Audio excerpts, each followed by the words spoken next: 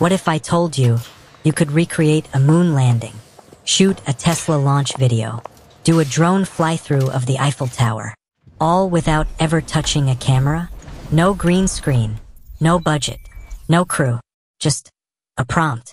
Welcome to the world of Veo 3, and the internet is officially going crazy with what it can do.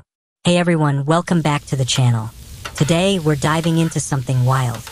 Google DeepMind's Veo 3 has finally made its way into creators' hands, and the results are unlike anything we've ever seen. This isn't just AI-generated stock footage. This is prompt to Hollywood.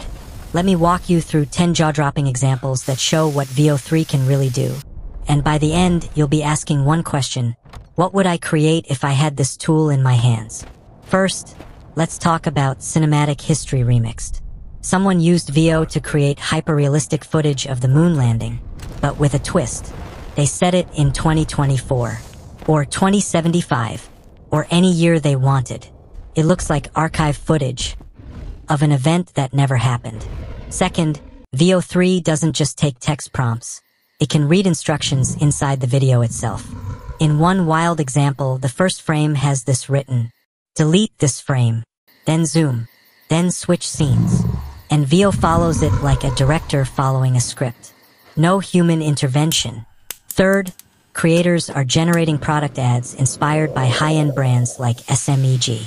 Think studio lighting, motion blur, macro shots, but none of it is filmed, just prompted. Fourth, imagine a Tesla-style product reveal video. Logo shimmer, lighting sweep, rotating angles. And there's no real product. Just Veo flexing its muscles. Fifth, we're seeing seamless walking shots through changing environments. You start in a city, transition into a rainforest, end up in a snowy tundra, all in one continuous shot. Sixth, food close-ups. Yes, Veo can simulate sizzling, slow-motion cooking footage that would make Gordon Ramsay do a double take. Seventh, drone footage fly-throughs of iconic landmarks. People are generating videos that look like FPV drones flying through castles, stadiums, even sci-fi cities. But again, it's all AI. Eighth, Veo is now being used to simulate video game cinematics. It creates entire worlds in motion, from fantasy towns to futuristic landscapes. Ninth, some creators are embedding PowerPoint presentations into Veo videos, turning boring decks into cinematic explainers. It's like Veo is your new design team, animation team, and editor. Tenth, people are testing the limits with creative ad experiments. Everything from kinetic typography to surreal visuals using just descriptive prompts, and Veo turns them into full-blown ads. Look, this isn't just the future of video.